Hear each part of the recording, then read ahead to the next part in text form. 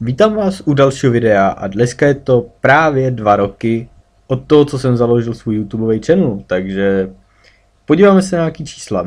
Vlastně minulý rok, když jsem měl první rok kanálu, tak uh, jsem byl rád, že jsem měl 200 odběratel a teďka mám 850, takže za první rok mi vlastně přibylo 200, za tenhle celých 650, takže jsem strašně rád, že to takhle stoupá i sledovanost stoupla teda převážně díky Paladins a to mělo jakože sledovanost velkou. No a další čísla, co bych tak mohl říct, takže po dvou letech na YouTube mám nahraných přesně 552 videí s tím a dohromady mám přes 150 tisíc chlídnutí. Takže myslím si, že to je docela dost zajímavý. No a co bych teda chtěl říct, ještě prvně, než na to zapomenu, chtěl bych se omluvit, že tenhle ten týden nevyšlo žádný video, prostě, jak jsem říkal, že asi budu vydávat teda teďka jedlo týdně, tak nevyšlo z toho důvodu, že kromě očí jsem ještě chytil chřipku, takže jo, super, jsem chcípák strašný.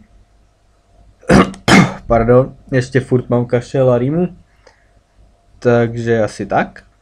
No a co jsem chtěl teda ještě hlavně říct, takže ehm, příští týden asi...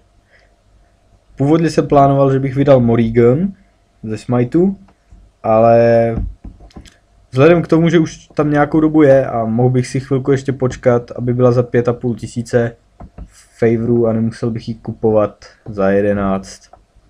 Takže bych ji natočil deal a příští týden by byl asi tady Torvald.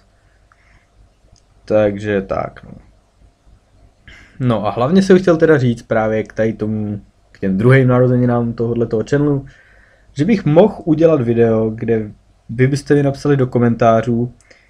Pamatuju si, že původně, když jsem dělal dřív, to nevím, kdy to přesně bylo, video, že jste mi psali otázky, tak jich bylo asi sedm, nějak moc se to neosvědčilo, takže doufám, že teďka, když vás je trošku víc, že se některý z vás aspoň odhodlají napsat do komentářů, jestli by vás to teda zajímalo. Říkal jsem si, že bych mohl vlastně odpovědět na takový to nejoblíbenější nebo nejméně oblíbený, takže můžete se ptat, já nevím, na nejoblíbenější barvu, nejoblíbenější zvíře, nebo třeba nejoblíbenější medvědovitou šelmu, nebo třeba vím, nejoblíbenější petlahev, jestli někdo něco takového má, já ne.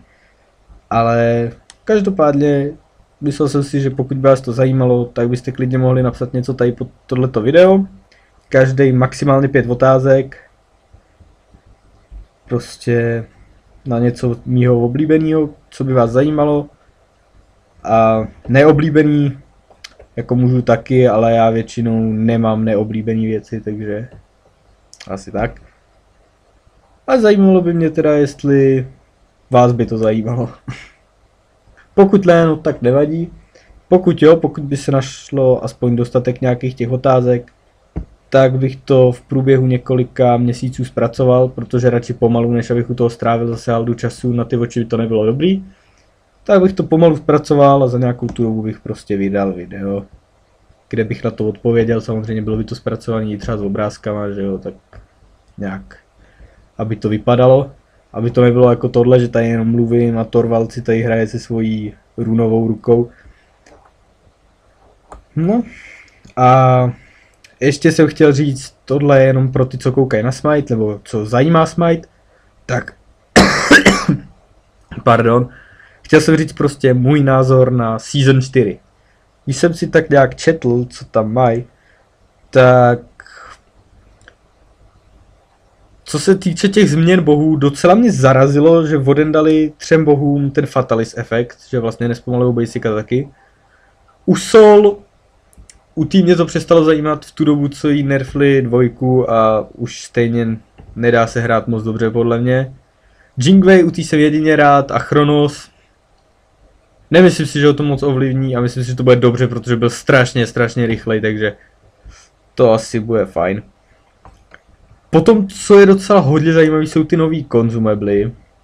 Eh, ty, co se doplňují, jako jo, není to špatný nápad, Myslím si, že dobře udělali, že když to prodáte zpátky, že nedostanete žádný goldy, protože vlastně použitý konzumebly asi těžko prodáte, ale je dobré, že to jde prodat, že to zase není jako relik.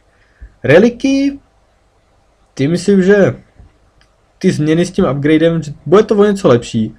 Co jsem absolutně nepochopil je, že Aegis prostě dostalo ještě menší cooldown, to je strašný podle mě.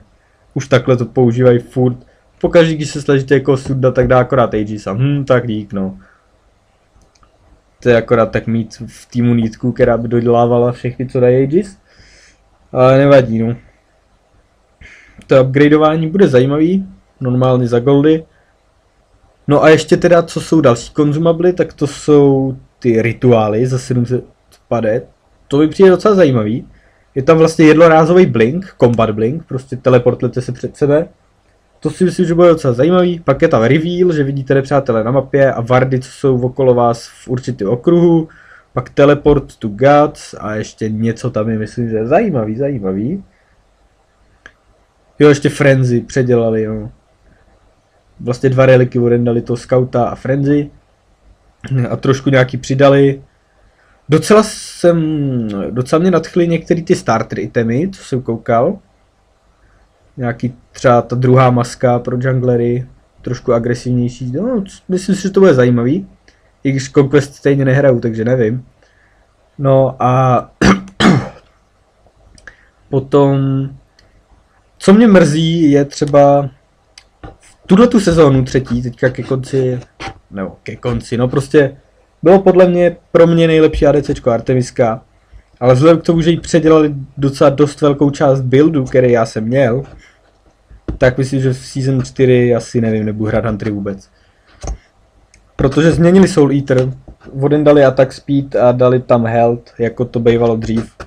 Což mě osobně moc nevyhovuje. Takže já prostě nevím, co budu dělat asi. No a pak myslím, že ty meče předělají na jenom pro melee bohy, takže to mě taky docela štve, protože 50 power a 10% movement speed, co jsem na Artemisku vždycky bral, bylo to docela fajn, protože ten movement speed se hodí, jako když nemá unikovku a 50 power je 50 power. Protože když si místo toho koupím fatalisky, tak stejně nic netrefím, já na Huntery je nemám fakt rád. A nebo nevím, Winged Blade, prostě nesedí to k tomu, nedá, nedávám to prostě to power. Na druhou stranu myslím si, že Hastenet Fatalis teďka bude docela dost dobrý, protože sice ubrali trošku attack speed, ale má to penetration, takže do těch buildů to zapadne a bude to docela dost brutální. Rage, moc lidí ho nemělo rádo, nadávalo na něj, na tady ten kritik item, tak to já si myslím, že ho přidali docela ještě blbějc, prostě jenom za asisty a killy když zrovna budete mít tým, v kterém se nikdo nebude zabíjet, tak jako, k čemu vám to je? Ta pasivka. Předtím jste aspoň prostě hitovali a zvyšovalo vám to kritik. Na druhou stranu jsem docela dost rád, že přidali attack speed do toho kritik stromu uh, Wind Demonu. To myslím, že teďka bude hodně dobrý. Že to bude docela náhrada, no. Budu muset trošku ty buildy předlat, ale na druhou stranu se mi to líbí. Některé ty nový na protekce se mi líbí, a myslím si, že Brawler's Beatstick teďka bude dobrý docela. Jak vlastně mu dali 15% attack speed a tu novou pasivku, to bude docela cool. Jinak nevím, co bych asi k tomu ještě řekl. Jo, samozřejmě Kepri, že jo, nesmím na ní zapomenout, to je můj oblíbenec, to musím říct vždycky, když ho nerfnou.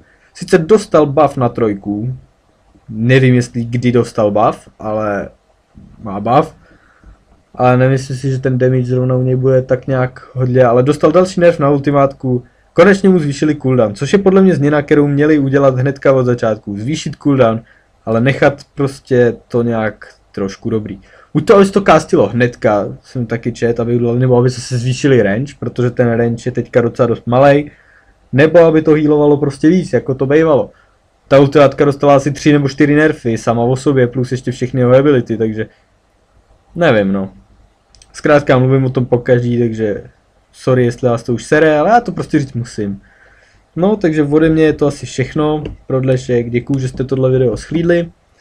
A do komentářů mi teda buď to napište nějaký ty otázky, nebo pokud se vám to nezdá jako dobrý nápad, tak nepište nic, nebo napište něco třeba, co vás zajímá ohledně Smiteu, nebo váš názor na sezónu čtvrtou. A to je asi všechno, takže když tak dejte like nebo odběr, nebo napište komentář, jak už jsem zmiňoval a uvidíme se příště. pravděpodobně tady u videa za Torvalda